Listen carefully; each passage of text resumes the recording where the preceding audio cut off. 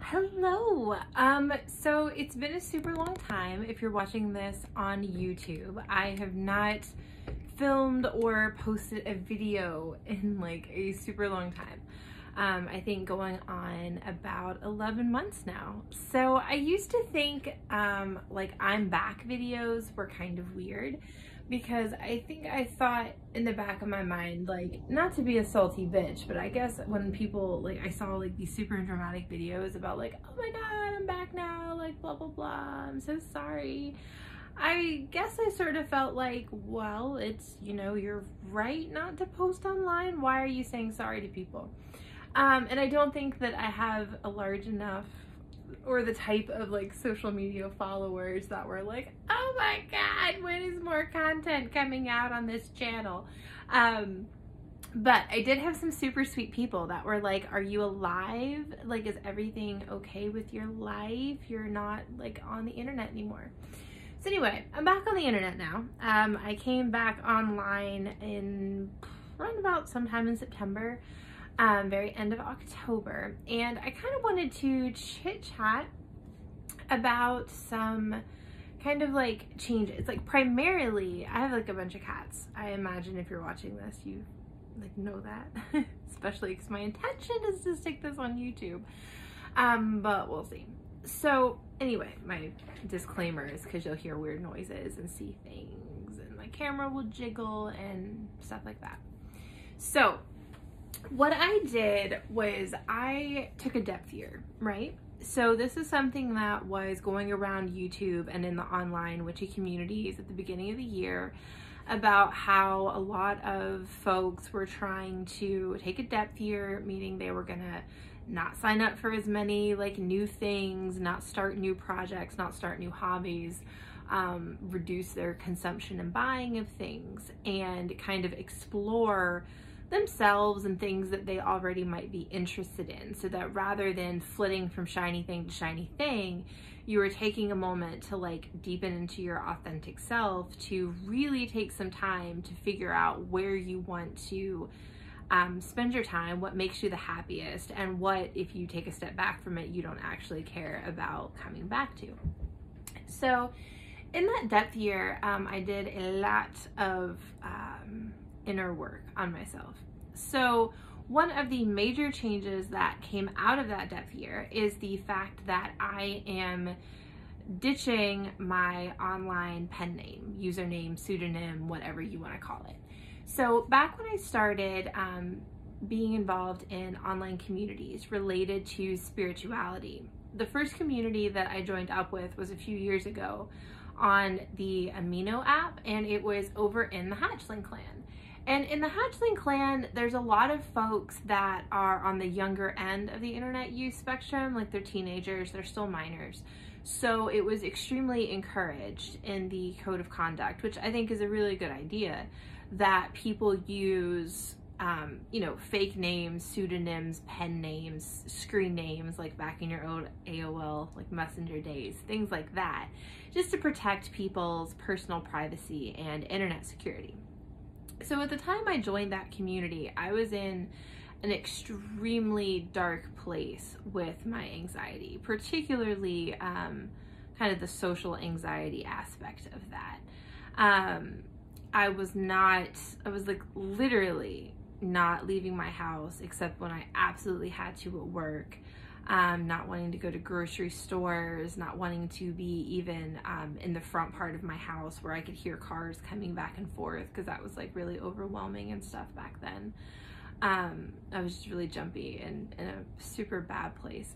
Um, so not in that place now, FYI, it's like a whole point of this transition conversation. So my point to that is, up until that uh, point in my life, I had been doing a lot of role fulfilling you know like i was a child i was a student um, i was one of those people that have very doggedly and determinedly just charged through my education.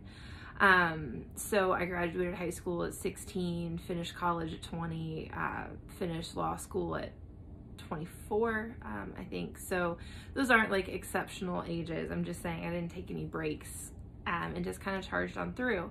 So when I entered into my profession and I had some professional and I mean by some I mean like some significant professional and financial setbacks, that was really jarring to my entire personal identity because if you make your entire life um, getting graded and that's how you kind of allow people to establish your self-worth you know by your grades or by your work productivity or your professional reputation.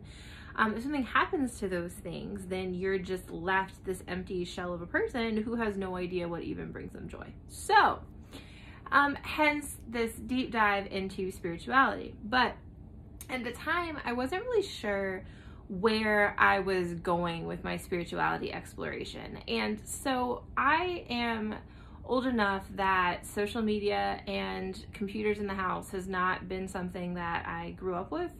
Um, I didn't have a Facebook until college. Um, it's just not something I was on board with. I didn't have a smartphone until grad school at all. Um, so I had never really been on the social media and internet scene. And a reason for that is because I feel like now with social media, you're creating this like permanent record of every transformational and transitional like period of your life.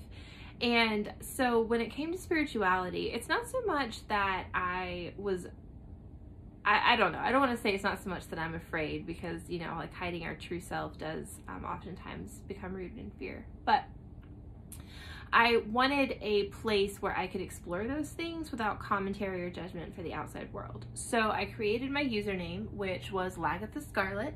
Lagertha based off of Vikings, um, and Scarlet based off of Erza Scarlet from the Fairy Tail anime. And that is the name I used. I started uh, creating content, YouTube videos, not many, but a few YouTube videos. Um, I started writing some articles for a web magazine called Coffee Table Coven, and that's the uh, name that I used online. And so when I, um, I didn't have a Facebook for many years, but I created a Facebook uh, just because there are some local businesses in town that don't have websites and they only um, post their stuff through Facebook, so I had to create an account so I could see and participate in those things. I chose to use the name Lagertha Scarlet there as well because Facebook isn't a big networking platform for me. Like I said, I really just use it for those kinds of things um, and for messenger groups, like for community events, um, things like that. And I wanted to be able to keep a work-life balance in my social media. But as I became um, better at working through my anxiety and things like that, I started coming to the fact that um, a root trigger for me, for my anxiety, appears to be if I feel like my actions and interactions with the outside world are inconsistent with who I think I am. So the fact that I was kind of in a sense living this double life, you know, like I have Lagertha Scarlet in my me time who like explores these things and has all these people that she talks to and feels like really confident and like authentic in those interactions. But then I had like the physical world me of Whitney who um under the guise of I want to be like private and have privacy had these like whole realms to myself that the people I interact with on a daily basis right down to my family had no idea about. So I'm sitting here feeling unfulfilled because of inauthentic, shallow interactions, but I am refusing to give the people that I interact with the information that they would need to get to know me better. So that has been an 8 minute and 52 second lead up to the fact that I am going to be ditching and I'm transitioning out of that online username. So um, you're going to start seeing my actual name, Whitney, pop up on things. So those of you that know me as Lagertha or as Lag, and that's how you refer to me online, is totally cool. You can keep doing that. I will continue to answer to Lag or Lagertha for a long time, I imagine. Um, but my name is Whitney. That is the name that I'm going to start using, and that's the name that I am going to begin um, creating content under.